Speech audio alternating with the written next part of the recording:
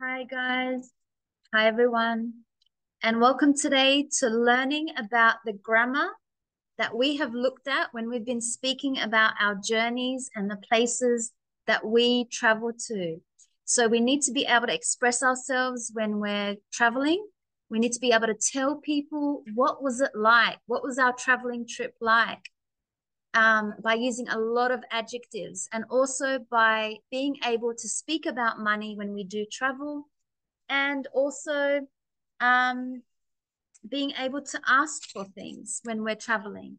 So let's look at the grammar, which is from the past lessons from before. We're just going to look at the grammar and make sure we understand uh, how to do this. Okay, so we have uh, the first question asks us to complete the sentences. So you could see page 92, Mercury is the nearest planet to the sun. So remember, when you say nearest, you've got the adjective near and you're adding the est because you're saying that it is close.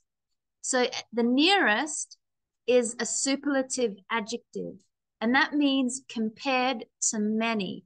Okay.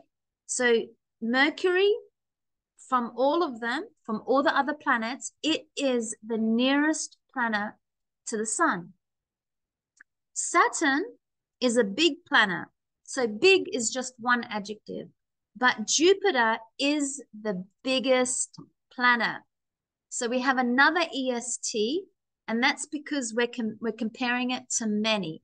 Okay, so remember the difference between the comparative adjective and the superlative adjective.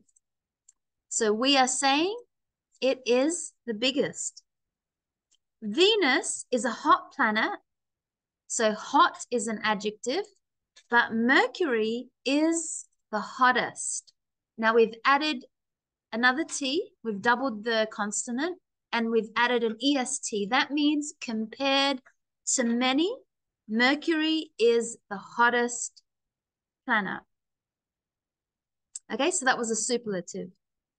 The journey from Earth to Neptune is longer than Earth to Uranus. So is longer than. We're using a comparative because we're comparing two things together now, not one to many, but we've said that Earth to Neptune is longer than Earth to Uranus. So can you see how I'm doing a comparative adjective now? Okay, comparative, because now I say longer than. Neptune is longer than Earth to Uranus. Earth to Neptune is longer than Earth to Uranus. Earth is the best planet for humans. Best is a superlative. It comes from the adjective good, but because we want to compare it to many, we say Earth is the best planet. Not Earth is a good planet, but it is the best because I am comparing it. Mars is smaller than Earth. Okay, smaller because I've got two. Mars is smaller than Earth. Two, two um, nouns. So I'm using a comparative adjective. And I'm just adding the ER to my adjective. Um, but Mercury is the smallest. Now I'm using a superlative adjective. So the same adjective, small, but now I've added EST because I'm comparing it to many. It is the smallest planet. Okay, so that's a review of using adjectives when we compare.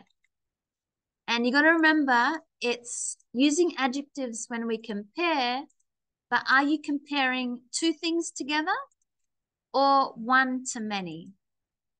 Okay, and that was our rules.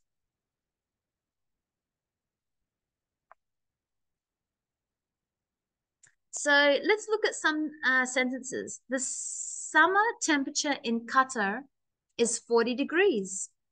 It's 20 degrees in Berlin. Now, when I want to make a sentence using comparative, I can make a sentence by saying Qatar, which is a country in the Middle East, is hotter. So I've got my adjective hot, but when it ends in a consonant, you double the consonant and add an ER because I want to compare it, not just say Qatar is hot or, you know, Colombia, it's hot in Colombia, it's hot in Australia, but I want to compare one country to another. So Qatar is hotter than Berlin. So you got to remember not just add ER, but you've got to say then is hotter than Berlin. Berlin is colder than Qatar. Same sentences. So colder than. Okay, a Porsche can travel at 300 kilometers per hour. A Mini can travel at 225 kilometers per hour. So a Porsche is faster than a Mini. I'm using the comparative because I'm comparing two nouns. Porsche, Mini, faster than. Or you could say it the other way around. A Mini is slower than a Porsche. So I'm not just saying a Porsche is a fast car. That's just talking about one noun, a Porsche. But I want to compare it. The Porsche is faster than a Mini. Okay, this house cost 1 million. The apartment cost 250,000. So this house is more expensive than an apartment. That is a long adjective. It's a long comparative. More expensive is the adjective than. Okay, so more expensive than. And we've got two nouns, house, apartment. Okay, so can you see the rule? Then one noun goes in the beginning, then you've got the comparative adjective, and then the second noun. Or you can say the apartment is cheaper than the house. More expensive than, more cheaper, or cheaper than.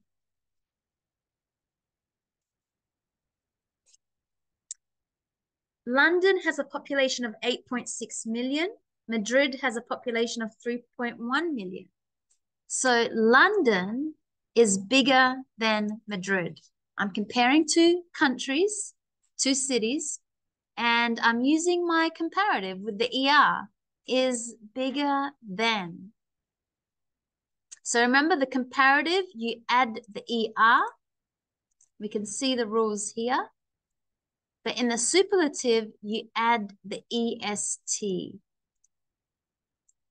Because I'm comparing one noun to many nouns. And then don't forget you had the irregular, best, which came from good. So we can say, we can also say Madrid is smaller than London. And that comes from the comparative adjective, smaller than. Okay, so adjectives when we compare nouns.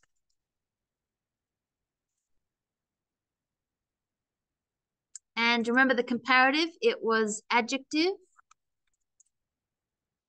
And then you add the ER to the adjective.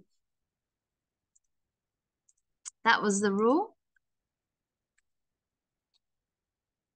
But the superlative was adjective, and then I add the EST.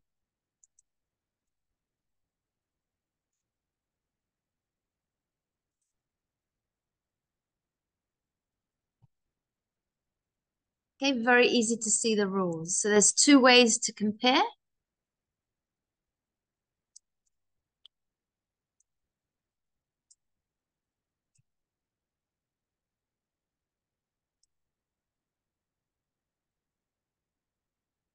Okay, that's two ways to compare.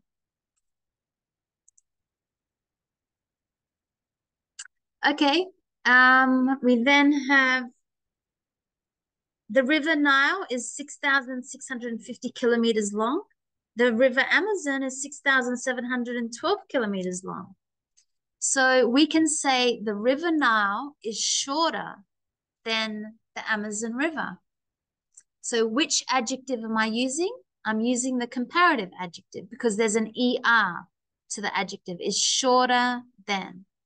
Or you could say the Amazon River is longer than the River Nile.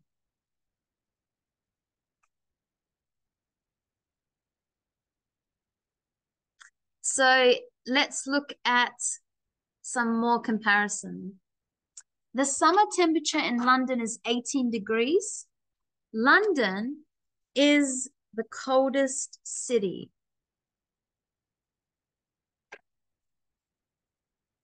London is the coldest city. So EST, that means it's a superlative. A Bugatti Veyron, that's a car, can travel at 430 kilometers per hour. It's did you guys guess? It's the fastest car. Because remember, we're comparing it to many. So it's like saying it's the fastest car in the world. It's the fastest car compared to many, many cars. So the superlative EST. This castle costs $10 million. So it's, we're using a long adjective, it's the most expensive home. So remember in the superlative, we say for the long adjective, most long adjective. So we add the word most.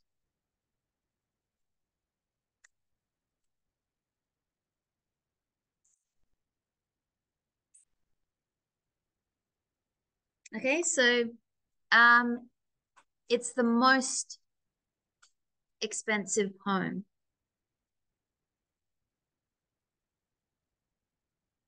Delhi has a population of 18.9 million. It's the biggest capital city in India. It's the compared to many, it is of all the cities in India, it is the biggest capital city. So we've got the adjective big because it ends in a consonant. We double the consonant and add est. And the Mississippi River is 3,733 kilometers. So it is the shortest river.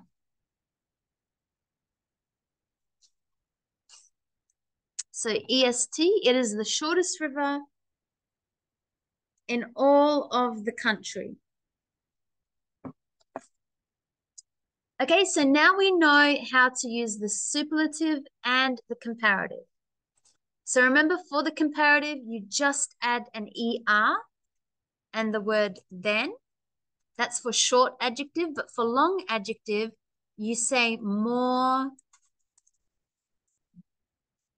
long adjective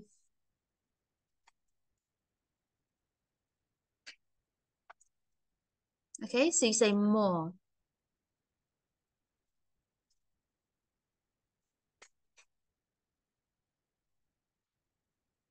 but in the superlative you just add the est so the biggest the smartest the kindest or if it's a long adjective you say most the most beautiful river in the world, the most beautiful, uh, the most amazing person, the most dangerous experience. Okay, so that's how you do it for the long adjective and for the short adjective.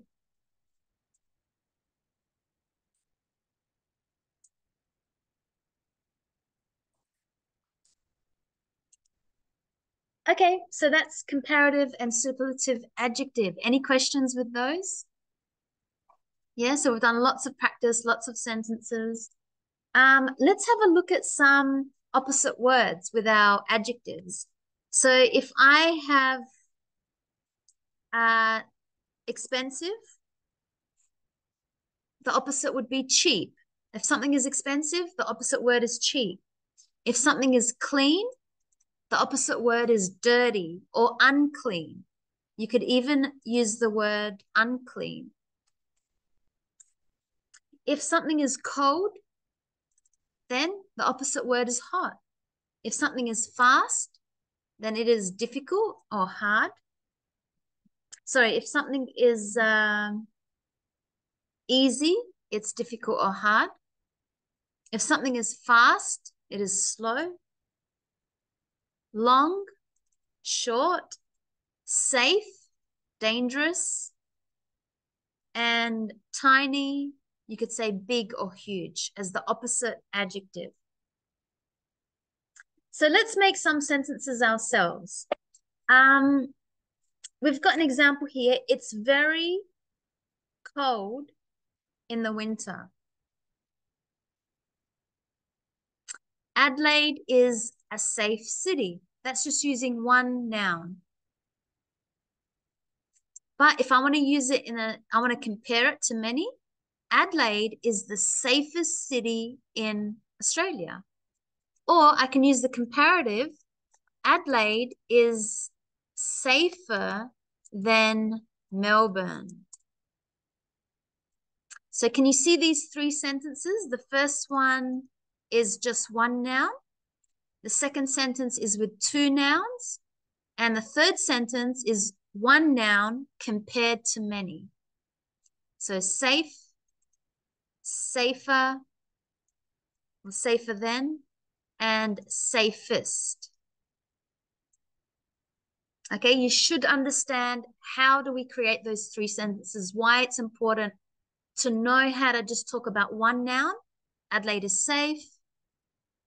You know, um, walking at night is safe in Adelaide.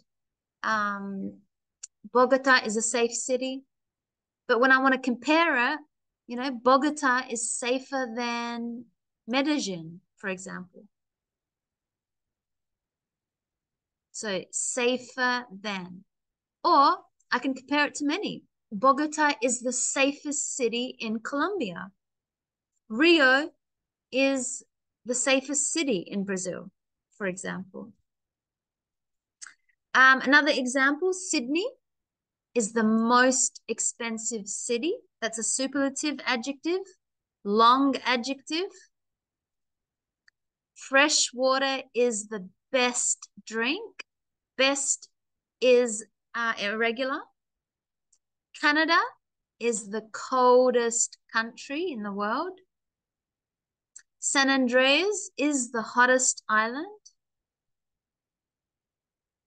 The Yellow River is the most famous river in China. So you can see I'm comparing it, saying compared to many, it is the most famous river. Moscow in Russia is the most expensive city in the world. Brazil has better beaches than Australia. So ER, it's a comparative. I'm comparing one country to another country. Better than. Argentina is poorer than Australia. So ER to the adjective poor. The MacBook are more expensive than Dell iPhones are more technologically advanced than Samsung. Eggs in Australia are more expensive than in Ecuador.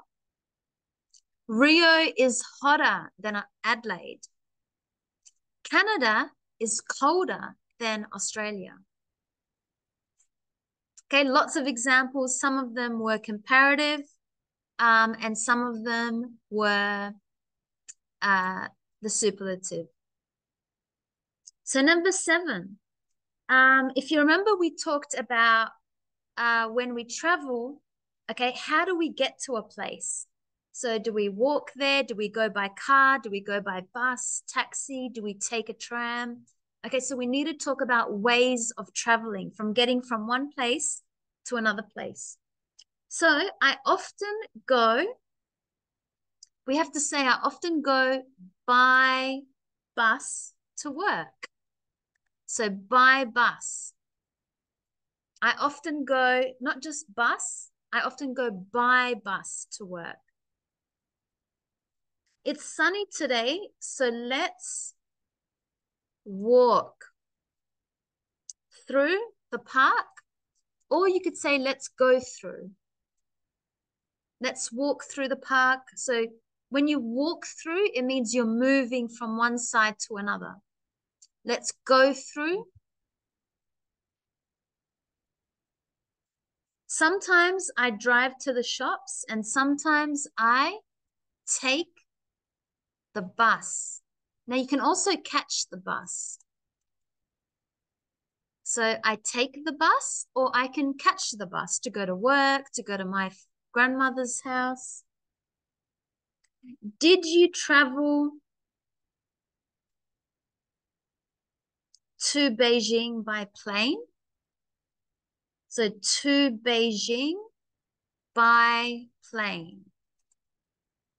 So plane is a way we say by plane.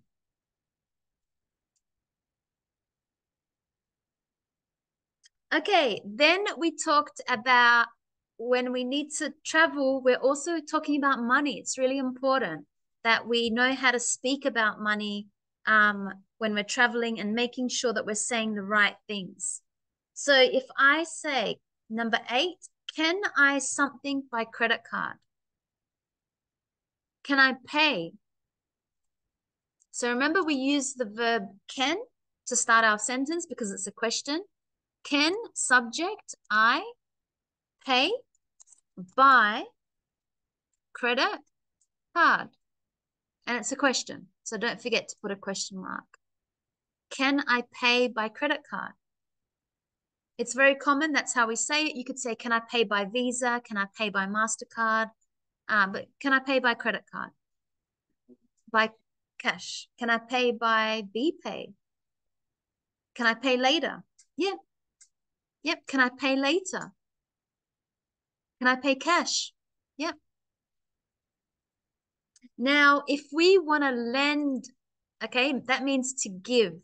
So can you lend me 10 euros?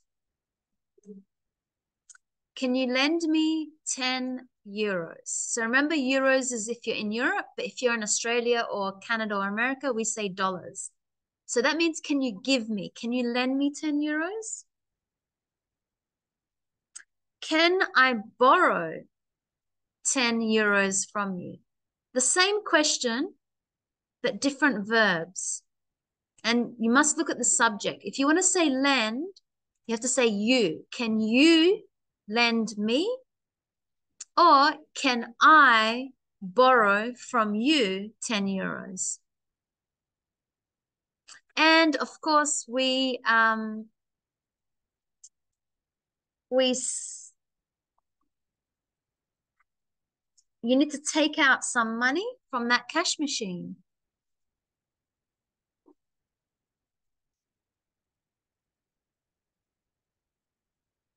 Okay, so take out some money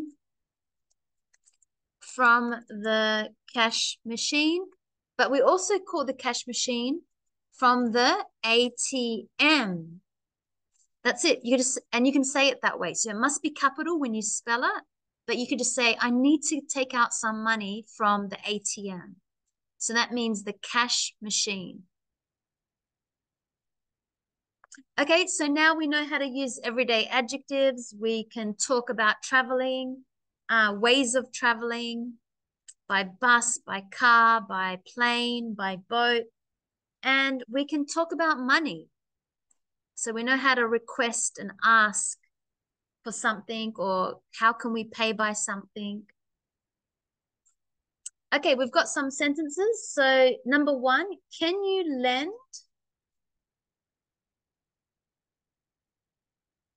Can you lend me a dollar? So can you lend me a dollar? So that's a question. Can you lend me a dollar? Could I borrow a euro? So remember can or could, it's the same question. Can I use, um, can I borrow a euro? Yeah, can I borrow a euro?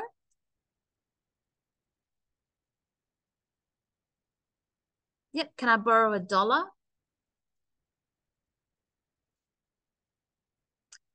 Uh, could you pay by cash?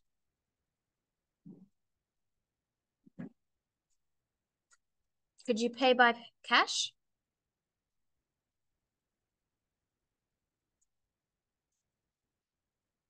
Can we have some?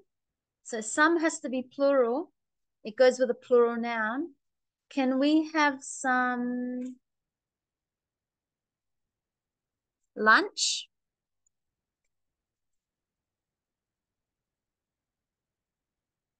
And could I use your pen?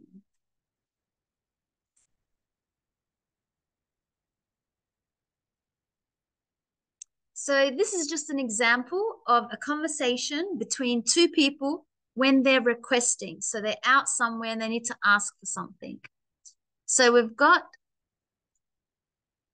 this conversation. So, hey, mate, I missed the bus. Can you lend me your motorcycle? Yes, of course, sure. So remember we looked at responses? Yes, sure, no worries, of course. Uh, yeah, no worries. Can I borrow your helmet? Also. So I might add, can I borrow your helmet also? Because that's another another thing that I want to borrow. Of course.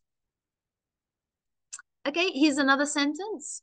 Hi, Andres and Min. How are you guys? Hi, bro. Hey. So that's a third person. Oh, Jose, can I borrow some money? No, I don't have any at all. You do. I saw money in your hands. So I saw some money in your hands. Come on, man. Lend me a hundred. Uh, lend me one thousand dollars. What money? Are you crazy, bro? This is another conversation. Hi, Silvio. How are you? I'm fine. How are you? Not bad. I've come to ask you for a favor. Sure. What do you need? I'm broke. I need some money. Can you lend me a little? Yeah, sure. How much? I need a hundred dollars. Okay, here you go. Cheers. Hello, Jessica. How are you? I'm fine. How are you? I'm okay. Can you lend me your phone? Yeah, sure. Thanks. Hey, bro, what's up? Could I use your car for the day? No way, man. I need my car today. Sorry. Okay, thanks anyways. Okay, so that was just some examples of, uh, you know, how do you ask your friend if you need something? You want to request something. Um, yes, so that is the end of the review. So now we can talk about our journeys. We know how to not just talk about what happened in our journey, but we can compare it. We can compare it to another, you know, um, holiday that we went on. We can compare it to a different city. We know how to talk about our cities and compare it to a different city. Um, and we know how to just be confident when we ask for money or need to borrow money, lend money, uh, exchange money.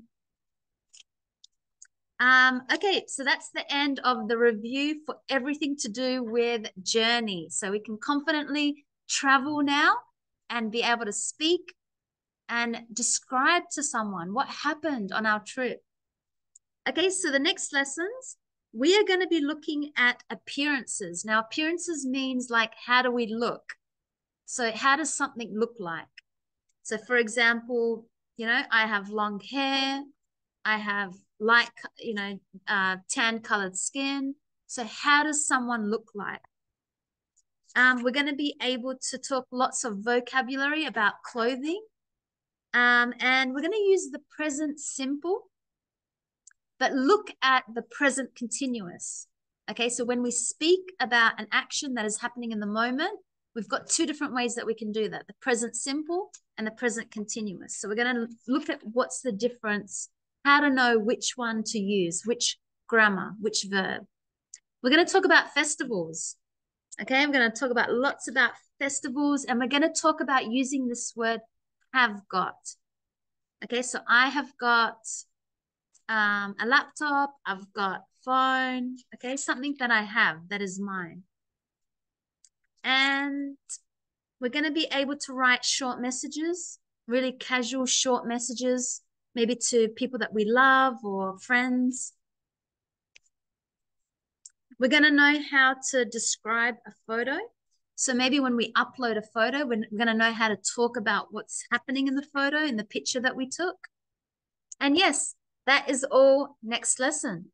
Okay, so we'll do that all next lesson.